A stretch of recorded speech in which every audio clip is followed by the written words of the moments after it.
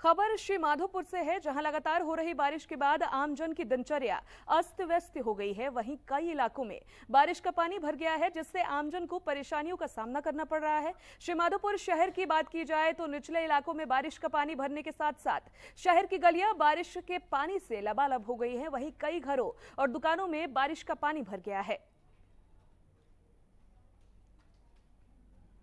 लाल जी, सुरेश जी, नाथुराम जी, बुलराम जी, सोहन जी, नरेंद्र जी, इनके मकान में पानी भर चुका है। बेड ड्रेसिंग, आलमारी, कूलर, टीवी दस दस हज़ार के वो खराब हो चुके हैं और अनाज के कट्टे थे, वो सब में पानी भर चुका है।